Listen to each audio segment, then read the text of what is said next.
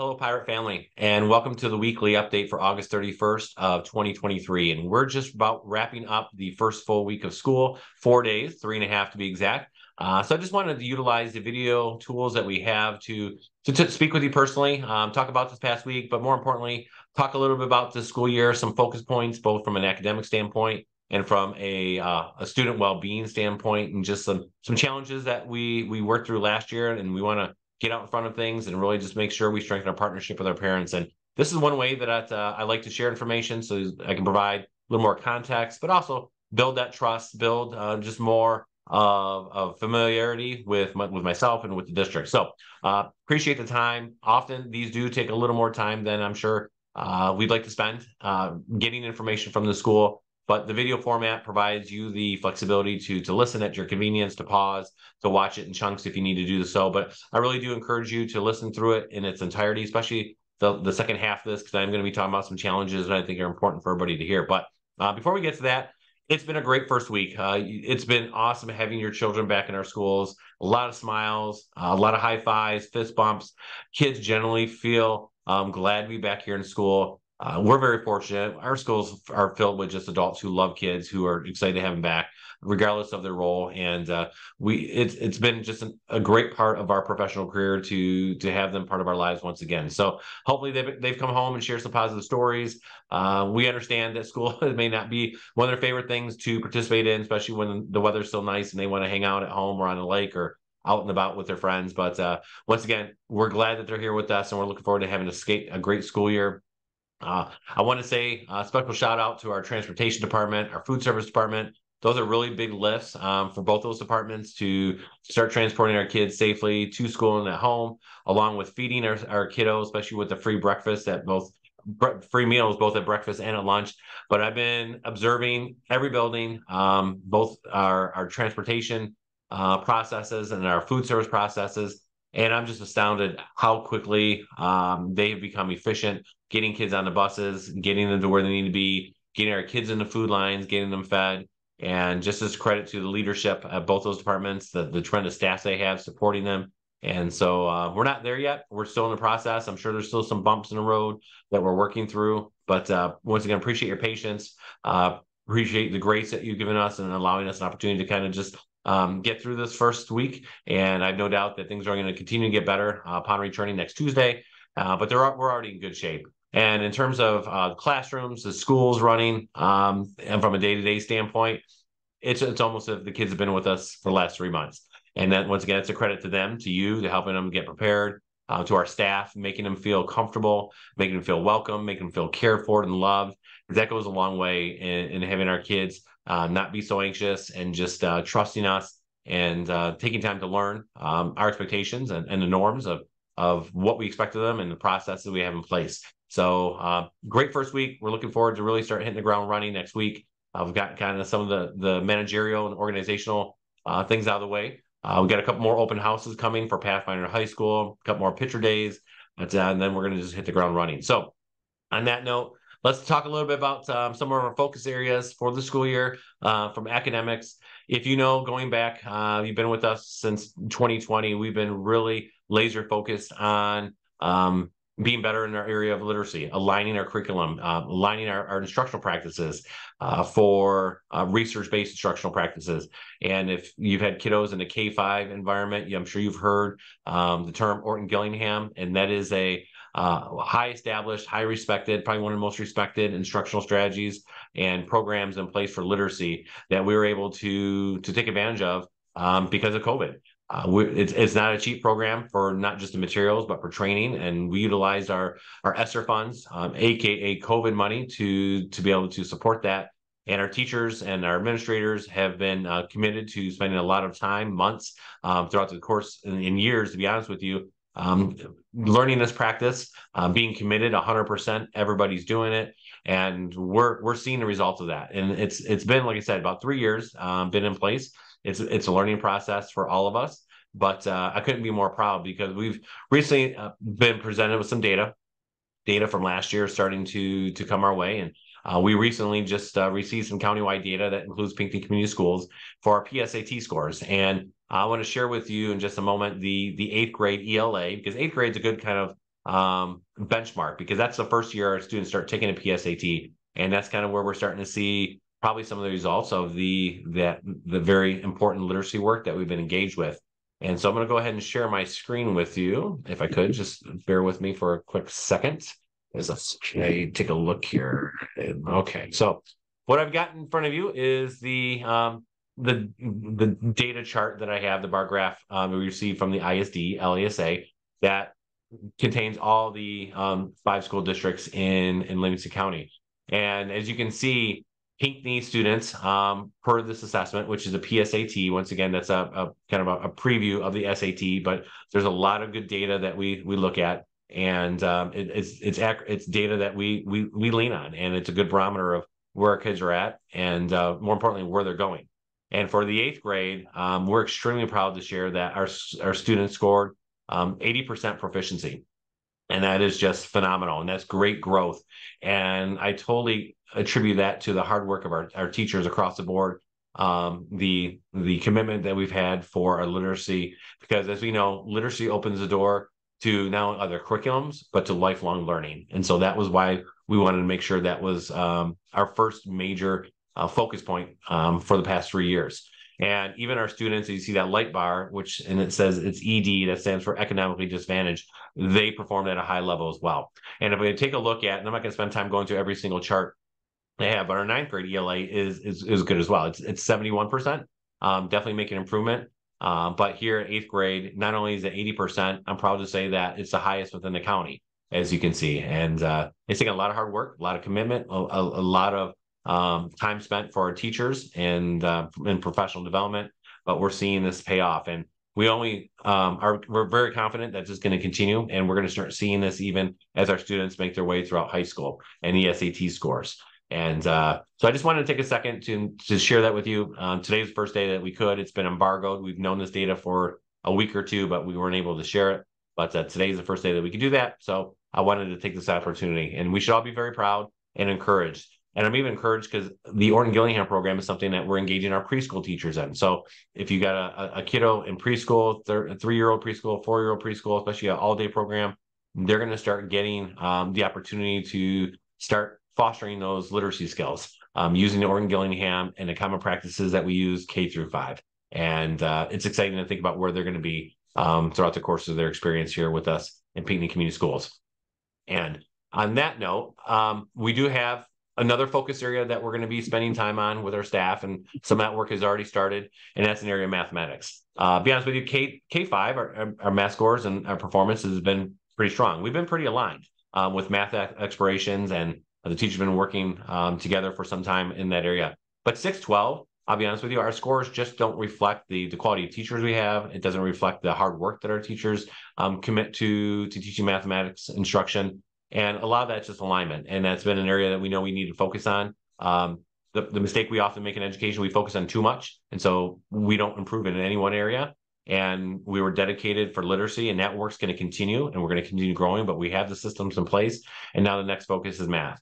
Um, we have great students, and the scores just don't reflect um, the quality of students we have, and more importantly, the, the quality of, of teachers we have. So um, we're gonna we're gonna mimic the the kind of the model that we had in place for literacy. Not that there's Orton Gillingham for math, but in terms of alignment, getting us all on the same page, make sure we're focused on uh, best practice and research based best practice across the board. And so we can see the results that really uh, truly reflect uh, the quality of teachers and students that we have in this district. So that is our next area of focus that we're going to continue working on. Um, the scores aren't horrible by any means. I think when you look at it from a county standpoint, we're about um, third uh, in terms of ranking behind uh, Hartland and Brighton. And then, but we still have work to do. It's, it's not a competition against other schools. It's about our kids and where we can get our kids at. And they definitely um, we need to get them better than where they're currently at. And so that is uh, an area of focus that we've been very intent on, and we're going to be paying very close attention to and working hard, um, not only this year but for the years ahead. So those are really two um, areas of focus. We're working across the board, obviously, with all our content areas. But when we're taking that like laser focus across the board, literacy has been been that area for the past three years.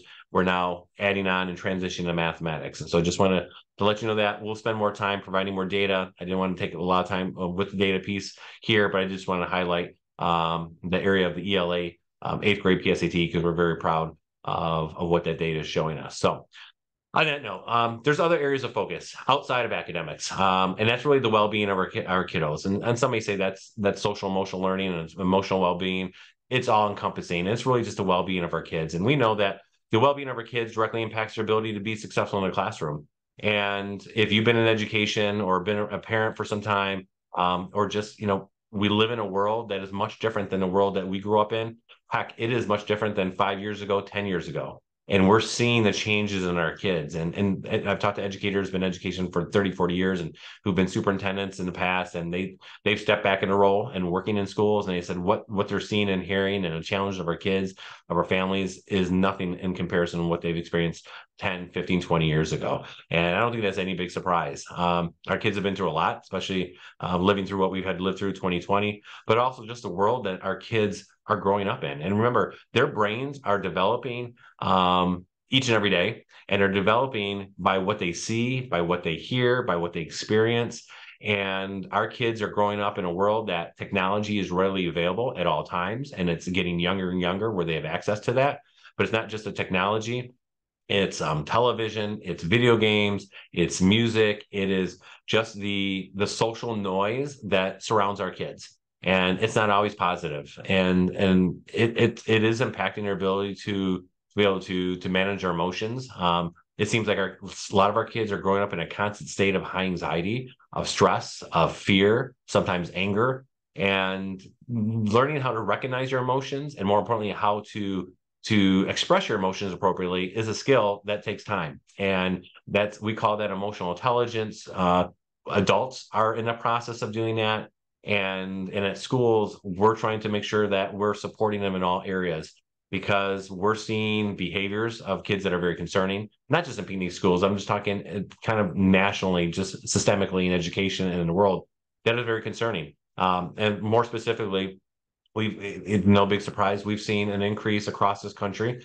and in the state. And we know here um, you know close to home that school threats uh, of kids um, expressing themselves and, and, wanting to hurt other people or even wanting to hurt themselves. And self harm is, is, just as as concerning for us. And and we've come to find out that um, you know a lot of the kids are expressing um, these really negative thoughts or, or or like I said threats to to hurt other people to, or hurt themselves as a way to um, express what they're feeling inside, whether it's once again anxiety, um, stress, fear, anger, and um, and it's something that we have to take very seriously, regardless of why those comments are being made. And we have processes in place that I've shared last year. I think it was about February. I did a video to talk about our threat assessment process, and we have an extensive threat assessment process. So whenever any kind of threat is made to um, the school community um, as a whole, we we have a team that includes myself, our resource officer, Deputy uh, Jeremy Gwynn, building administrators, social workers, counselors, um, teachers, anybody that can can be a resource to that process, we involve. But it always starts with me. I'll be honest. So I'm always directly involved along with uh, Deputy Gwynn and then building administrators. And we use a model that we've been trained in from the Michigan State Police um, that's pretty widely used in the state of Michigan. And um, to determine the severity of the threat, the root cause of the threat, because um, really we're trying to get down to, um, you know, what is the validity of the threat, and then how do we need to respond from that point. But one thing that I shared last year, and it still holds true, regardless of what comes out of the threat, assessment process, every instance is reported to the Livingston County Prosecutor's Office because there is a legal ramification, um, even if it's a it's a false threat and and not a valid threat. Those are still significant and they're not appropriate, and it can create a lot of chaos, a lot of unnecessary fear, and time and energy that's spent. So we report all those, and and where those go is really up to the prosecuting attorney's office. But we report each and every every one of them, and some have gone down that legal um, pathway with le- legal ramifications. Some have not. So, but we work in partnership with them as well, and um, and so it's important for our kids to know that. It's important for our, our parents to know that. To have follow up conversations with their kids about making sure that if they're feeling these feelings of anxiety, stress, fear, anger, that th- there's ways to communicate to to you and to us appropriately without going down that path because we can get the help that they need the support they need whether it's here at school or it's an outside agency or resource. And so um, but we have to make sure we give our kids the tools and we have to have the the trust and the relationships for them to feel comfortable talking to us. And hopefully that's the same at home as well. Any trusted adult is is an important resource in that process. Um, last year, I'm proud to say that Deputy Gwynn spent um, time in every single classroom. So every student in fifth grade through eighth grade last year had a presentation by him to talk about the, the, the severity of threats and really the process that I just kind of explained to you and, and kind of the ramifications of accountability um, that takes place, but also uh, the reporting to the prosecuting attorney's office in hopes that the more we educate and we're just very open and honest with our kids, the more they'll understand the severity of it. So I, I share this with not to scare people. It's just a, it's a reality that we're contending with, and we have to work in partnership. It's got to be par- parents sharing the message at home, school officials sharing the message at home, making sure we create a healthy culture and climate here where our kids feel comfortable talking to us and they do. Whenever there's been a concern our kids have always been the first ones coming and sharing information whether it's a friend saying they want to hurt themselves or they want to hurt somebody else. So that's a positive thing but we want to we want to get to the kids before they get to that point. And uh, and that's that's why we spend a lot of time on, on building a really healthy culture and climate here taking advantage of our awesome community the family atmosphere and just uh, making sure we're transparent with everybody at all times. So um, I appreciate you doing your part at home and and and really helping us work through that. I'm hoping that last year was an anomaly in what we experienced throughout this country and that we can make progress. We continue to help support our kiddos and our families in a positive way and that we're gonna we're gonna minimize if not eliminate those things from happening.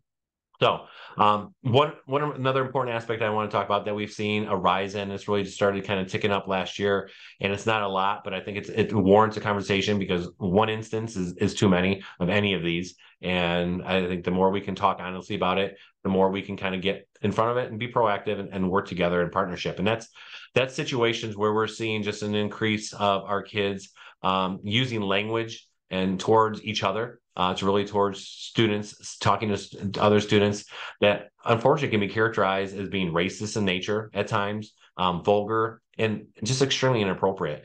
Um, the the lack of filter we're seeing with kids and, and understanding the, the seriousness of the words they use uh, towards each other um, has diminished. It seems like, and I, I, think we can probably see the world around us is that that's not just something we're seeing in our young people, but we're seeing that in adults and sometimes leaders, um, whatever position they may see, uh, that we're seeing that more and more. And um, and often in school, we're seeing this in, in settings that are sometimes characterized as social settings, or kids kids may say these are my friends, and these are just people that I'm comfortable with, and this is how we talk to one another, and not really understand the context, the severity of the words you're saying, the ramifications, the hurtfulness, and just the perceptions that it brings upon us. And uh, I truly believe we've got good kids. We've got good kids across the board. We've got good kids who make poor choices. We've got good adults who make poor choices. And you know, our our our obligation is make sure that we're we're holding people accountable. We're also taking time to, to educate them.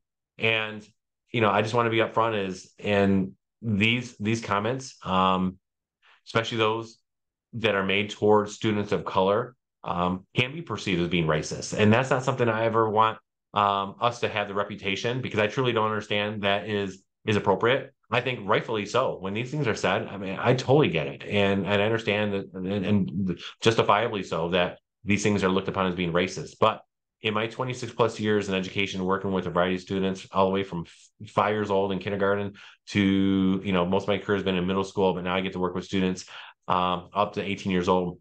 I've never met a student, whether they're seven years old, 10 years old, 12 years old, 16 years old, who I would ever characterize as being racist. Because I believe to be racist, you you get there, there's a sense of hatred um, within you and uh, towards another human being for whatever reason.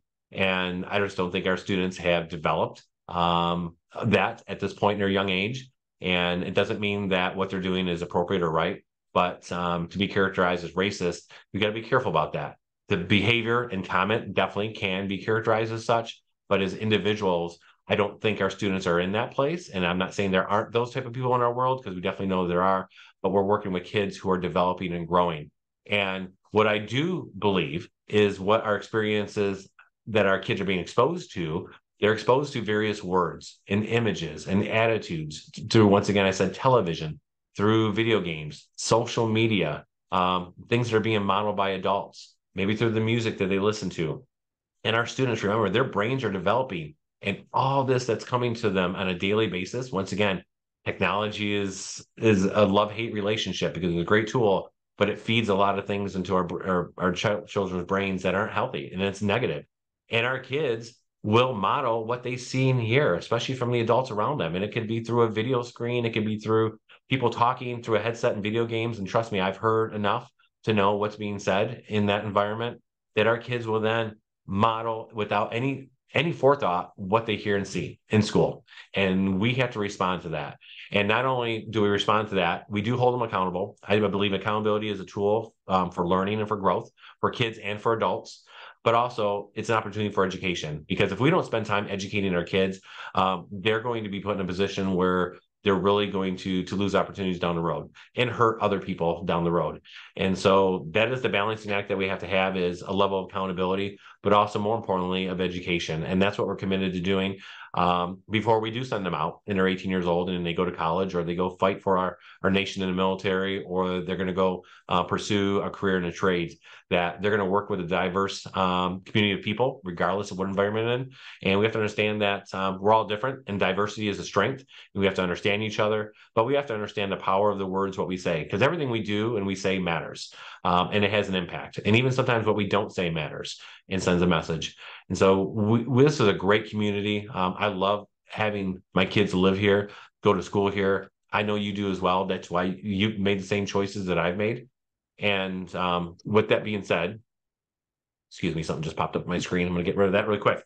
Um, with that being said, um, I want to make sure that we are the shining beacon of light um, to those around us. We can't control a lot of what our kids are exposed to in the world. You know, things are just going to happen. And uh, we do have some control but what we what we can focus on is who we are what makes being a Pinckney pirate so special and unique what separates us from those around us and why um, you know there is a, a, strong sense of community here strong, a strong sense of unity and pride and we have to maximize that and we have to utilize that and understand that we're all here for the same reason and that's just because we want our kids to be successful in school we want them to be happy we want them to be safe and we want to live in an environment a community that provides that and I think we do. Um, we're not perfect by any means. We have challenges along the way. We have differences. We have, you know, whether it's our religious beliefs, it's our political beliefs, or it's just our philosophical life beliefs. Um, we understand that um, we're all going to think alike, but I think what we do um, have common ground on is we all want the best for our kids. And uh, there's some simple ways that we can we can all try to obtain that, and that's just always making sure we're respectful, that we're we understand the power of our words, and um, kindness uh, carries carries a lot of weight, and uh, accountability, forgiveness, um, understanding also carries a lot of weight, and and that's what we want to focus on. And uh, working together is is the power that we have, and I believe through messages like this that we we continue to be transparent we work together we understand one another. Um, doesn't mean that we're not going to get upset we're not going to get angry we're not going to get hurt and disappointed because those things are going to happen. Um, but we're gonna we're, we're never going to negate the the seriousness of of words that our, our kids use or the adults use. And then but then once again how do we grow and learn and how do we become better people? Because um, that's our goal and and our kids are, are why we're here. So on that note I want to end on a positive note because I know that was, you know, something that um, is not always easy here, but I think we have to hear it. And uh, I want to use my experience that what I've seen here from my chair to help bring you along with us because you need to be part of this journey and I need you. Um, I can't do it by myself. Our teachers can't do it by ourselves. Our administrators can't do it ourselves. It is our kids need all of us and we all have to be all in um, because they're worth it. And uh, our society and our community is worth it. So so thank you once again for being part of our pirate family. Uh, I'm extremely encouraged and excited about the school year. Uh, once again, I get to work in an environment with adults who truly love kids, and they do. And we're going to make mistakes, and and we're going to. I'm committed to you to that. We're going to learn. We're going to we're going to reflect, and and you know if we need to make things right, we're going to make it right. Um, but uh, this is this is a unique profession, and uh, I'm privileged to be part of it. I'm glad that you're along um, with us on this journey, and because uh, we're going to work together, and, and uh, we're gonna we're gonna show why this community is special, why this school district special, and it's because of your children, and because of you, and because of the staff and the adults we have working with them. So, on that note, thank you so much for investing the time and energy in this message. Um, I hopefully be able to have an opportunity to meet you personally if I already haven't done so. And um, as always, um, this is a great place. Pirate family, um, you are strong, you are special, and uh, this is going to be an exciting school year. So have a great weekend, holiday week, holiday weekend. Enjoy your four days, And we'll see you back here on Tuesday. Go Pirates.